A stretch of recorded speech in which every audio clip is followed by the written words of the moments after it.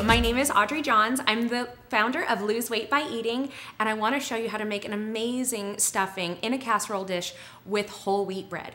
Whole wheat is so much better for you. It has so many more nutrients, and when you cover it with chicken stock and vegetables, you're not gonna be able to tell the difference between white and wheat. So this is a great way to trick your family into eating healthier. So what I've done is I've chopped up one onion and one entire bunch of celery.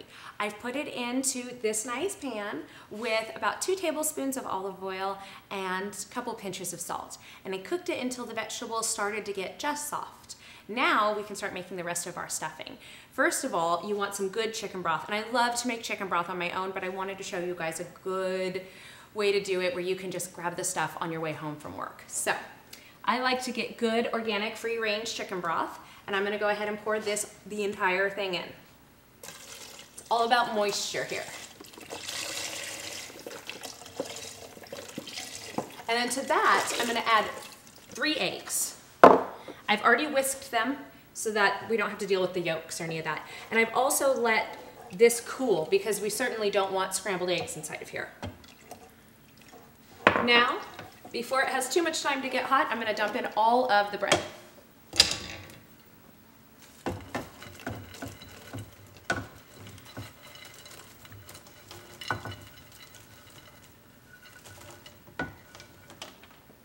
Most of the bread.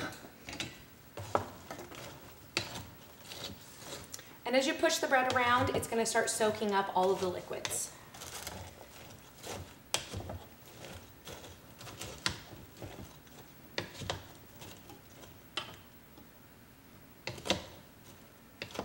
Alright.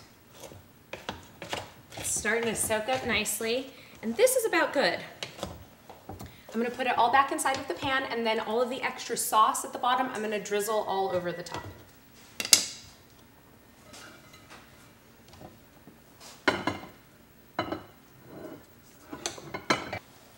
Mmm.